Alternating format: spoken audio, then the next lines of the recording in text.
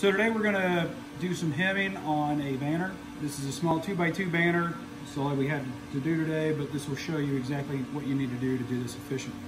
So as you can already see, I've got grommet marks already uh, printed directly onto it. And I also added like one inch to compensate for the tape for folding it over.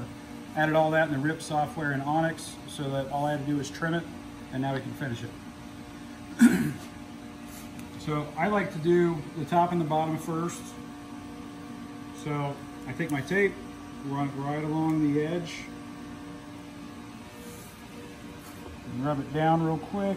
It doesn't have to be perfect. Lift it and you can tear your tape right off. Now, if it's a real big banner, you might not be able to do both sides at the same time, but most of the time you can spin it pretty quick.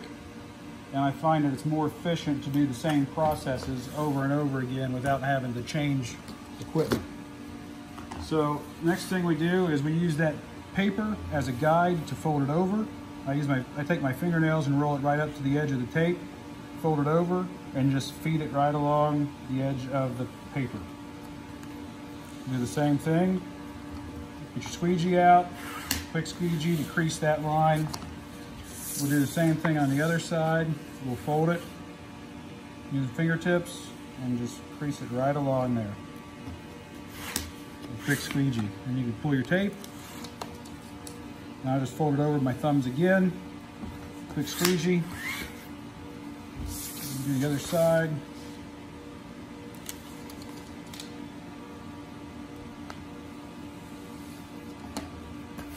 You get a good crease line, it'll fold over real easy. So now I'm just going to do it the way I normally do it here at full speed so you can see how fast you can get this done.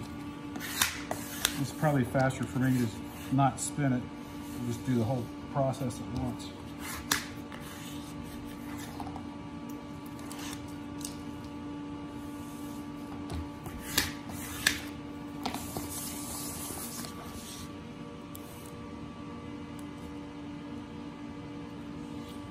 So I already got my grommet press out, but I keep keep all the tools together for quick access.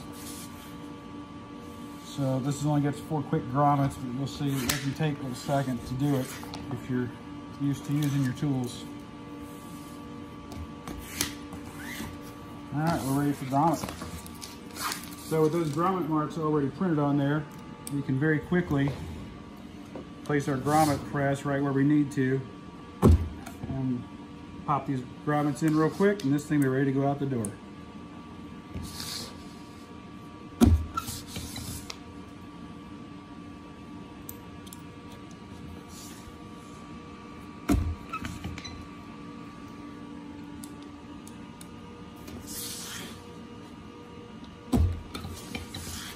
And a finished 2 by 2 banner.